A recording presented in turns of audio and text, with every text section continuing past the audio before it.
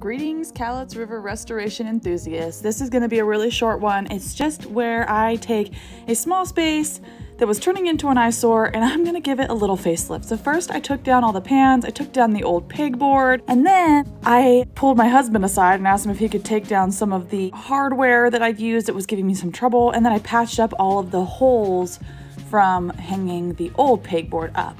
I used a plaster and then I learned this really cool trick where you, once it's dry, you go over it with a polyurethane to seal it before you paint and it's supposed to make it so that there isn't any difference in the finish. Sometimes when you patch holes and then paint over it, there's a difference between the patch and the finish.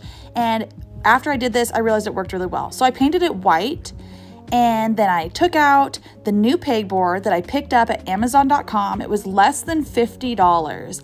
And I just thought this was going to give it a much more modern and new feel to it. But here's the thing.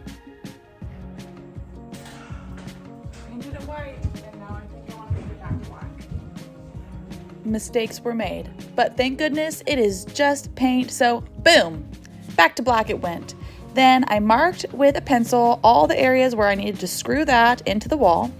And then I pulled in my trusty stay at home contractor. He's not stay at home, but my handy dandy Mr. Fix It.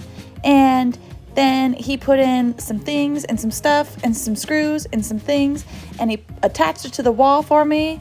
And then I put in, and then, and then, what is this, dude, where's my car? So, anyways, I got a new set of pans and I hung it on the pegboard. And here it is. Ta da! It's like a whole new space. I absolutely love it. It's amazing what a few little new touches will do for an area. Thanks for checking it out. Uh, like and subscribe, and we'll see you next time.